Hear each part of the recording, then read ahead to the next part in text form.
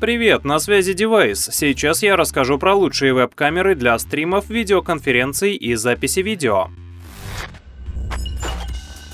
На первом месте разместилась 4К вебка от A4Tech с ценником в районе 12 тысяч рублей. Она является лучшим выбором по соотношению стоимость-качество видео, а главный недостаток ограничения на 30 FPS для всех вариантов разрешений, но зато у нее хорошая детализация, особенно когда в сцене достаточное освещение, хотя этот пункт относится в принципе ко всем вебкам. Совет. Направленный свет – лучший способ поднять качество видео. У вебки широкий угол обзора 95 градусов, градусов меня порадовала не только картинка, но и качество звука. Для ведения прямых эфиров встроенных микрофонов все же недостаточно, но в онлайн-конференциях собеседники будут слышать вас очень хорошо, без посторонних звуков даже при наличии шумов в помещении. В описании под видео вы найдете ссылки на все веб-камеры в проверенных магазинах, пользуйтесь ими, чтобы узнать актуальную стоимость, более детально изучить характеристики и отзывы пользователей.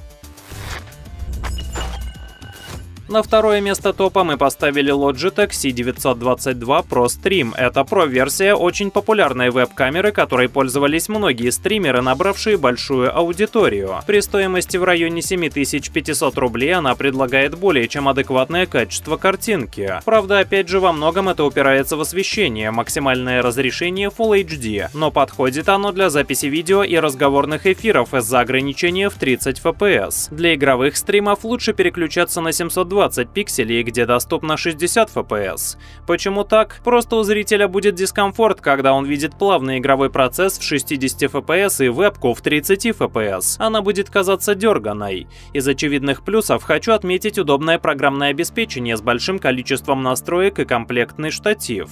Он маленький и не очень надежный в плане качества сборки, но с учетом веса вебки прослужит долгие годы. Все же иногда камеру хочется разместить не над монитором, а где-то в стороне. Из минусов ракурсов выделю опять же только 30 FPS при разрешении 1080 пикселей относительно небольшой угол обзора 78 градусов. Если камера будет находиться слишком близко, то вы займете большую часть кадра, а это подходит не всем. Но и микрофон по качеству он просто средний. Интересуетесь компьютерной тематикой? Подписывайтесь на канал и ставьте лайк на видео, любые мысли и вопросы пишите в комментариях. Третье место – лучшая бюджетная вебка для начинающего стримера или видеоконференции от Hikvision U04P. При ценнике в 4000 рублей она предлагает разрешение видео 2К, то есть 2560 на 1440 при 30 FPS. Режима с 60 FPS, увы, нет, правда качество у нее, понятное дело, хуже, чем у той же C922 с разрешением Full HD. Но для начала это очень даже хороший вариант. Угол обзора 88 градусов, вы можете сидеть практически вплотную к камере на расстоянии 20-50 сантиметров и адекватно смотреться в кадре. Из минусов посредственный микрофон и отсутствие резьбы для установки на штатив. Приглашаю вас в наш телеграм-канал, там мы публикуем обзоры по ПК-тематике, сравнения, рейтинги и другой полезный контент. Но самое ценное – выгодные скидочные промокоды для самых экономных. Присоединяйтесь, ссылка на телегу в описании. Logitech Brio – это самая дорогая веб-камера в нашем топе, разместившаяся на четвертом месте. При ценнике в 17 тысяч рублей она предлагает качество картинки, сравнимое с камерами многих современных смартфонов. Это лучший выбор для записи видео и трансляции, максимальное разрешение настоящие 4К, то есть 4096 на 2160, но только при 30 кадрах. 60 FPS только в Full HD, при хорошем свете качество видео получится практически студийным студийным. К слову, угол обзора 90 градусов. Покупка более дорогой модели мне кажется невыгодным вложением, ведь доплатив условные 5-10 тысяч рублей, вы получите едва заметные улучшения. Из плюсов могу отметить длинный кабель, хороший микрофон. Правда, хороший он только для звонков, в эфирах и записи видео его лучше не использовать и функцию слежения за лицом.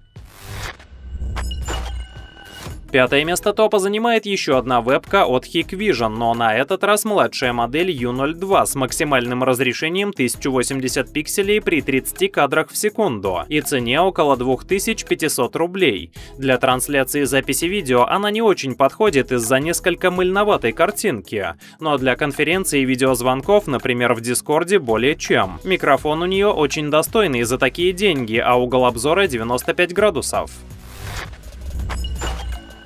Razer Kaio Pro шестое место топа. Это Full HD веб-камера с нестандартным круглым и плоским форм-фактором. Выглядит как объектив фотоаппарата, она стоит 15 тысяч рублей, при этом по качеству примерно как модель Afotec.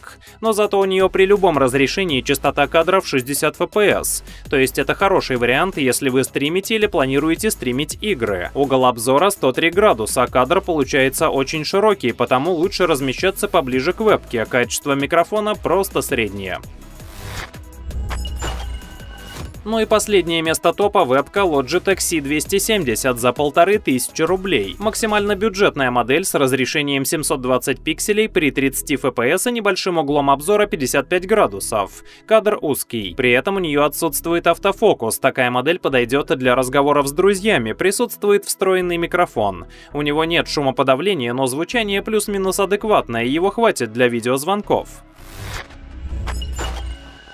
На этом все. Наш топ лучших веб-камер подходит к концу. Повторюсь, ссылки на лучшие предложения в проверенных магазинах есть в описании. И не забывайте про телеграм-канал со скидочными промокодами. Ставьте лайк на видео, если оно было интересным и помогло с выбором, оставляйте комментарии и подписывайтесь на канал Device. Ну а я не прощаюсь, ведь впереди много интересного контента.